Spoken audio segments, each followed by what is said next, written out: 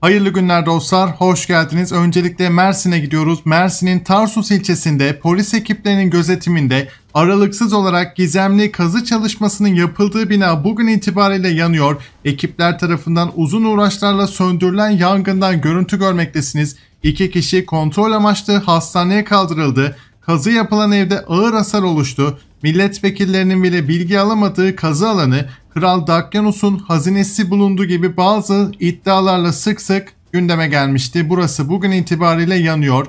Önemli bir ziyaret gerçekleşiyor. Ermenistan Başbakanı Nikol Paşinyan, Rusya Federasyonu Devlet Başkanı Putin'le görüşmek üzere Rusya'ya gitmiş durumda. Yine bugün Kırgızistan Cumhurbaşkanı Sadır Japarov, Azerbaycan'a gelerek Cumhurbaşkanı Aliyev'le görüşecek. Saat 18'de Cumhurbaşkanı Erdoğan, İsrail Cumhurbaşkanı Herzog'la görüşecek. Ana gündem enerji işbirliği olacak ve karşılıklı ziyaretin planlaması yapılacak.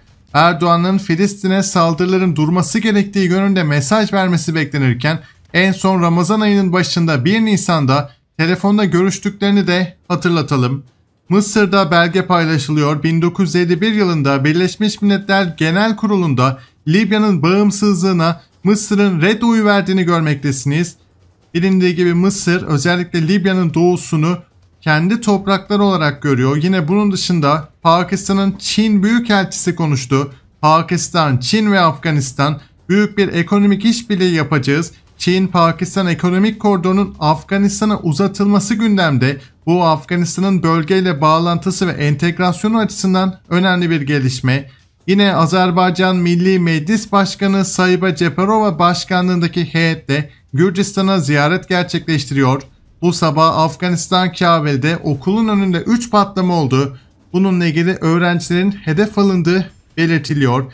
Yine haftalardır soru işaretleri vardı. Sonunda resmileşmiş oldu. Çin, Solomon adalarıyla güvenlik anlaşması imzalamış durumda. Günün en önemli gelişmesi Tarsus'ta bütün dünyayı merak içinde bırakan gizemli kazının yapıldığı evin bu sabah yandığı haberi bizzat Anadolu Ajansı'nda evin görüntüsünü görmektesiniz. Orta Asya basınından kısaca haberlere bakalım. Moğol Büyükelçinin Türkiye Büyük Millet Meclisi Başkanı yani Mustafa Şentop'u ziyaret ettiği belirtiliyor. Rusya Savunma Bakanlığı Ukrayna'da 1260 askeri tesise saldırı düzenlediklerini duyuruyor. Bir günde bu kadar saldırı oldu. Tacikistan yerel ulusal arama motoru oluşturmuş durumda. Aslında bu motorun Yandex ve Google'a eş zamanlı olarak yıllar öncesinde çıktığı haberi paylaşılıyor. Tacikistan ve Suudi Arabistan ortak bir lojistik merkez oluşturacak.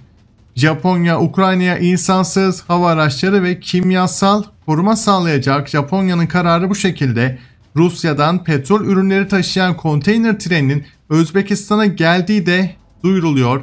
Yine dostlar bunun dışındaki haberlerimize bakalım. Rus medyasındaki iddiaya göre Rusya benzersiz geleneksel olmayan silahlar geliştiriyor. Başbakan yardımcısı Yuri Borisov Rusya Devlet Başkanı Putin'le görüşmüştü. Yakın tarihli toplantıda Borisov beklenmedik bir şekilde Rus uzmanlar ve tasarımcılar tarafından benzersiz silah türlerinin geliştirildiği duyuruldu. Borisov'a göre Rusya'ya potansiyel düşmanlara karşı açıkça teknik ve askeri üstünlük sağlayacak geleneksel olmayan silah türlerinden bahsedildiği notu düşürmüş. Şu anda yeni fiziksel ilkelere dayanan silahlardan bahsettiğimiz biliniyor. Özellikle Başbakan Yardımcısı yönlendirilmiş enerji silahlarının ve kinetik silahların yanı sıra robotik sistemler ve komplekslerin geliştirildiğini duyurdu. Yeni silah programı yönlendirilmiş enerji silahları, kinetik silahlar, yapay zeka kontrol sistemleri, robotik sistemler dahil olmak üzere geleneksel olmayan silah türleri de dahil olmak üzere niteliksel olarak yeni bir devrim açıklamasını yapıyor. Kendisinin iddiası bu şekilde. Evet dostlar son gelişmeleri aktarmış olduk. İzlediğiniz için teşekkürler. Hoşçakalın.